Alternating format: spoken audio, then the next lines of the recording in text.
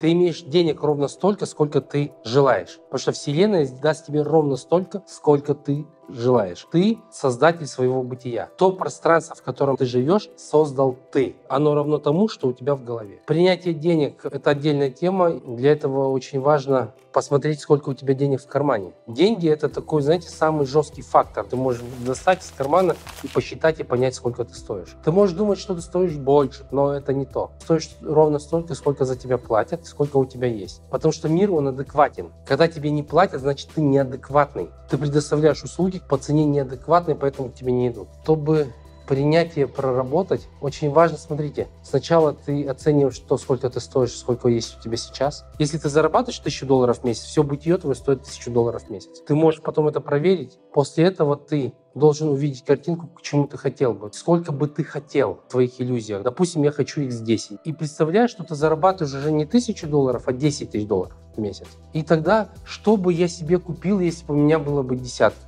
Какой бы обуви я ходил, какую одежду бы я носил, часы какие, трусы какие. Очень многие женщины на трусах вообще там клин просто. Потому что дорогие трусы никто не, не носит, оказывается. Ну, очень мало женщин, которые позволяют себе дорогое нижнее белье. И на их самооценку это очень сильно влияет. Мужчины очень сильно обесценивают одежду, аксессуары какие-то, и они сильно переоценивают машину. Хотя машина это такая статусная штука, но ты должен купить что-то за тысячу долларов. То есть за свой месячный доход, который сейчас. Что произойдет? Ты должен принести из того мира иллюзорного, в котором ты еще не находишься, какой-то небольшой артефакт сюда. И, допустим, за тысячу долларов что ты можешь себе купить? И нужно смотреть. Очень важно, чтобы тебя колбасило. Прям, да, там обувь за тысячу долларов, чтобы с ума сходил. Или там сумку за тысячу долларов. Майку, может быть. Может нижнее белье за тысячу долларов. Я не знаю, что это будет для тебя, но то, что ты сильно обесцениваешь. Берешь то, что самое обесцененное, чтобы ты никогда не взял. И тебя будет колбасить, потому что когда ты принесешь свое бытие за тысячу долларов, тысячу долларовый пиджак, у тебя даже вешалки не будет дома, куда повесить. Потому что, кажется, запачкается, поцарапаешь, порвешь, еще что-то. И в этом моменте очень важно, не нужно ложить это, знаете, в саркофаг стеклянный с подсветкой, чтобы оно вертелось и чтобы ты не носил. Очень важно эту вещь потом носить. Месяц, первые три месяца человек не может принять новую вещь, его колбасит из стороны в сторону. Он думает, это очень дорого, и кажется, что всех голодающих детей Африки можно было на эти деньги спасти. Лучше подал туда, на благотворительность. После этого, когда ты это переборол, ровно через полгода включается эго.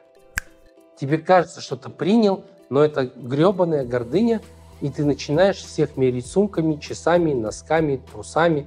Если у человека трусы дешевле, чем у тебя, ты с ним не разговариваешь. И в этот момент ты получаешь корректирующие события со стороны Вселенной. Волшебный шапалак, у тебя начинают деньги отнимать потихоньку. Ты начинаешь в доходах падать. Если ты вовремя не переобуешься, ты упадешь ниже, чем ты был до этого. И поэтому к психологу ходят на подъеме, на пике, чтобы не было вот этого кивка. Вот и все, весь процесс. И каждый раз он происходит заново. Если тебе кажется, что сегодня вещь за тысячу долларов это сильно дорого, когда ты дойдешь до десятки, тебе нужна будет вещь за 100 тысяч. Оно будет их там 10 постоянно. И проблема будет, знаете, когда? Проблема будет тогда, когда иксов больше ничего не хватит, потому что мир не такой дорогой оказывается, как мы думаем. На самом деле проблемы начинаются тогда, когда ты за деньги ничего не можешь купить. То есть, когда ты уже купил все, наелся материальным, в этот момент начинаются проблемы. Какие проблемы?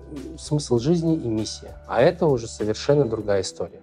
Миссию, чтобы найти, нужно потратить, я так понимаю, от полугода до года. Три раза в неделю ты ходишь к коучу, ты говоришь, у меня денег овер до хера, жизнь скучна, welcome. Мы будем искать с тобой смысл твоей жизни, миссию.